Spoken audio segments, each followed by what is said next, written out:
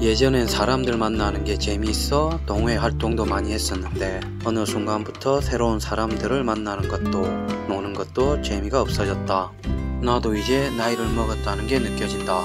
그럼에도 불구하고 유일하게 하고 있는 동호회가 하나 있는데 해시라는 러닝 동호회이다. 러닝이라 하기에도 좀 뭣한 게 뛰다가 힘들면 걸어도 상관없고 중간에 맥주를 마시기도 한다. 오늘은 상반기 결산 겸 201번째 해시를 하는 날이다. 지금까지 7년 정도 해시를 한 것 같은데 지나온 시간만큼 나에겐 애정이 많은 곳이다.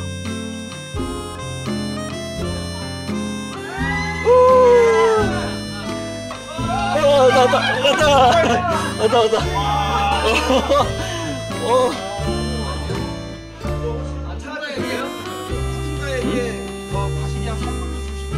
이번엔 평소 해시와는 다르게 게임 형식으로 진행이 되었는데 처음 해본 것 치고는 나름 재미있었다. 팀을 구성하고 정해진 구역 안에서 글자들을 찾아 문장을 완성하는 것인데 서로 찾은 글자를 뺏고 뺏기고 운동도 되고 은근히 긴장도 되고 스릴도 있었다. 조금만 다듬으면 다음엔 더 재미있게 할 수 있을 것 같다. 내가 그래도 운동만큼은 꾸준히 하는데 그 이유는 바로 건강하게 술을 마시기 위해서이다. 오늘도 열심히 운동을 하고 찾아온 곳은 뚱보라는 식당이다.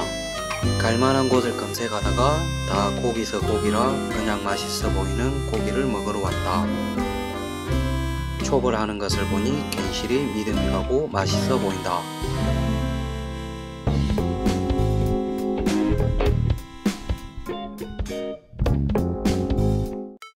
실내로 들어와 둘러보니 허영만 선생님도 다녀가셨고 TV에도 많이 소개되었을 만큼 맛집인 듯 하다.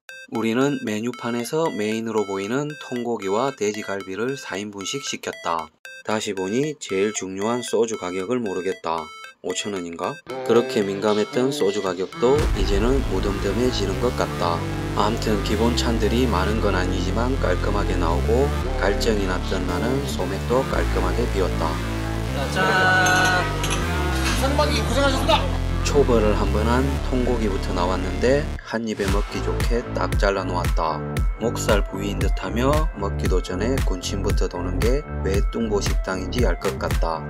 불이 끝에 있어서 고기를 양옆으로 구워야 하는데 빨리 먹고 싶은 우리는 마음만 급하다.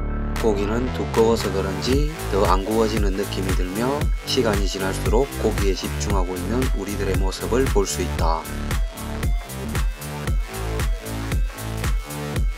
먹기 전에는 퍽퍽할 수도 있겠다 생각했는데 다 구워진 고기는 고기와는 다르게 상당히 부드러우며 씹을 때 흐르는 육즙과 풍미가 입안을 채운다.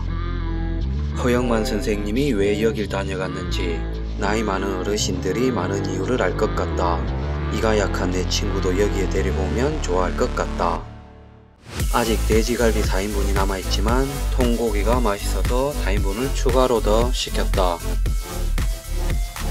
고기를 올려놓고 소주를 한잔할 때 두부를 큼지막하게 썰어 넣은 된장찌개가 기가 막힌 타이밍에 나왔다. 살짝 매콤하고 얼큰한 이 된장찌개는 기본으로 나오며 추가로 시키게 되면 2,000원이다.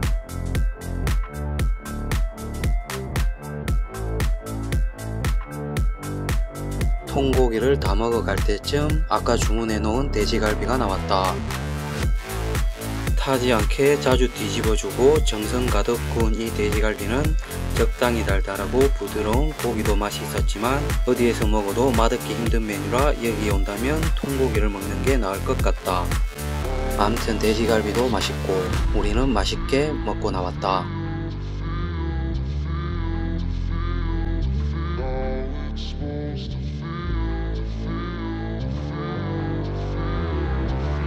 배도 꺼줄 겸 이 일대를 한 바퀴 돌았다. 사실 갈 곳을 정하지 못해 더 걸은 것도 있는데 더워서 돌아버리는 줄 알았다.